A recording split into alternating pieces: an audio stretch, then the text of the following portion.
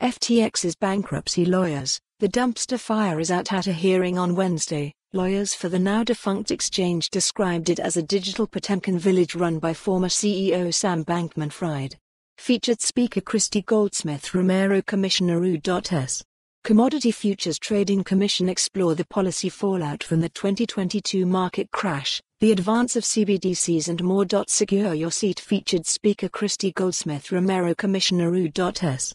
Commodity Futures Trading Commission explore the policy fallout from the 2022 market crash, the advance of CBDCs and more. Secure your seat five months after the spectacular implosion of FTX. The Bahamas based crypto exchange's new legal team has a message for both the U.S. bankruptcy court and creditors alike. The situation has been stabilized and the dumpster fire is out.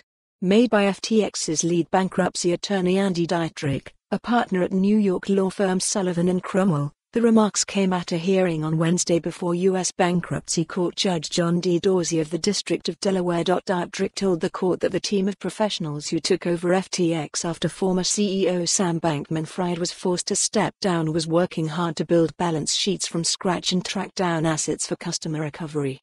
So far, according to a presentation made by Dietderich, the company has recovered a whopping $7.3 billion in mostly liquid, distributable assets, up nearly $2 billion from the figure lawyers gave at a hearing in January. The company plans to file a preliminary plan of reorganization in July, Dietderich added, and tentatively expects to set a customer bar date. To follow the URL for the full article for more on this story, visit the news article link.